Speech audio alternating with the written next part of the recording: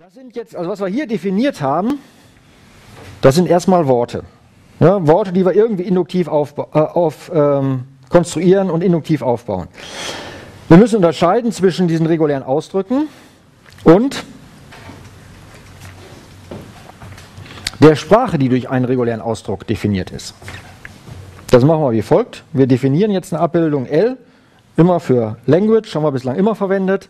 Ja, wir haben einen Automaten, wenn wir den betrachtet haben, haben wir immer äh, die von dem Automaten akzeptierte Sprache betrachtet, bei Grammatiken genauso und hier machen wir es jetzt auch so. Ja, wir, wenden jetzt, wir konstruieren uns eine Abbildung L, die geht jetzt von den regulären Ausdrücken in die Menge aller möglichen Sprachen. Das ist gerade hier Potenzmenge von Sigma Stern, das sind sozusagen alle möglichen Sprachen, die wir konstruieren können. So, und diese Abbildung, die definiert jetzt basierend auf einem regulären Ausdruck eine Sprache.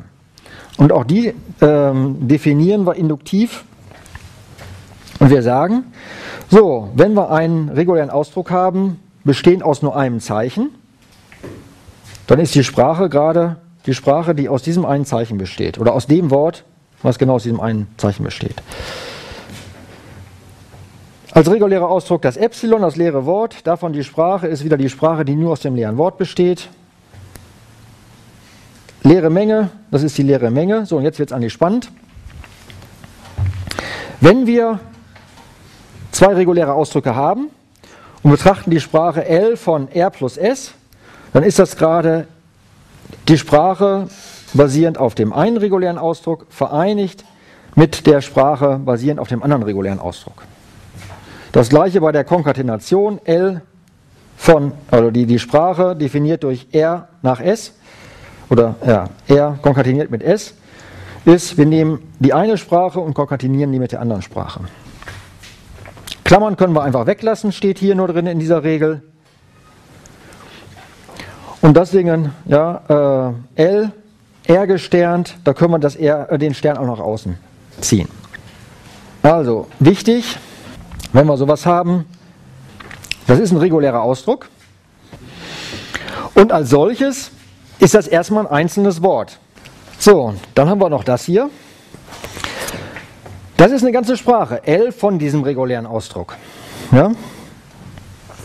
Da muss man unterscheiden, generell. Äh, Im Kontext der Veranstaltung werde ich das aber versuchen, sozusagen, oder zur Vereinfachung führen wir beides zusammen. Das heißt, wir identifizieren,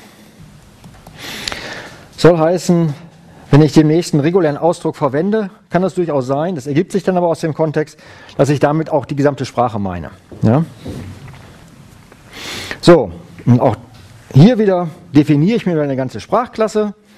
Ja, und zwar die Sprachklasse, jetzt hier so ein geschwungenes REG, äh, das ist die Klasse sozusagen der Regular Expressions, bezeichnen wir die Klasse aller Sprachen über Sigma, die sich durch reguläre Ausdrücke beschreiben lassen. Ja, es ist also sozusagen L vereinigt, äh, L angewendet auf äh, dieses Kleinreg, also die Menge aller regulären Ausdrücke. Ja, und einfach mit REG, das ist die Vereinigung aller äh, regulären Sprachen. Ähm, das heißt, die Menge sozusagen der Sprachen, die sich durch irgendeinen beliebigen regulären Ausdruck über unserem zugrunde liegenden Alphabet ähm, beschreiben lassen.